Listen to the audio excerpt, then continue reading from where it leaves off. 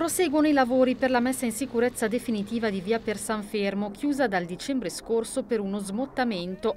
Il cantiere, dopo essere stato interrotto lo scorso marzo, è ripartito martedì e oggi gli operai hanno installato le prime reti paramassi indispensabili per la messa in sicurezza del versante della montagna e per evitare altri danni causati da possibili frane sulla strada.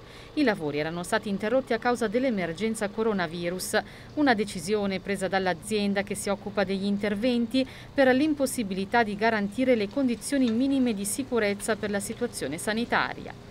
Il cantiere dovrebbe ora concludersi in circa quattro settimane.